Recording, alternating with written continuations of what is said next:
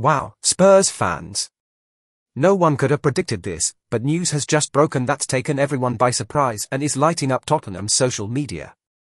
Fans are buzzing about Ange Postecoglou's newest target, who is expected to arrive in North London before the transfer window closes.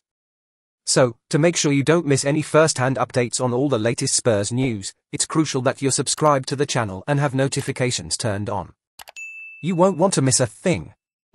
Now, let's talk about a potential transfer that could seriously shake things up at Tottenham Hotspur.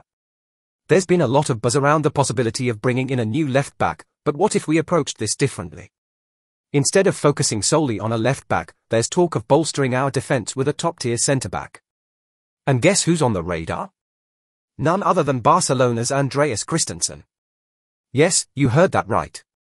The Danish international was a key player for Barca last season, making 30 appearances in La Liga.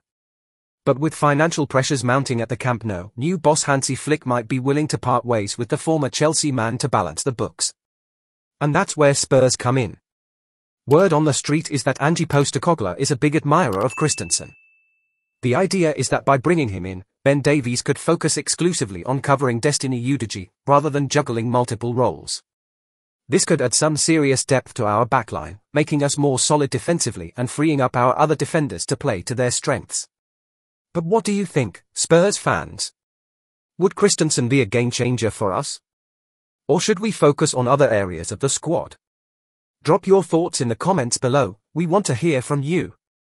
And don't forget, if you enjoyed this update, hit that like button and subscribe to stay in the loop with all the latest Spurs news. Coys.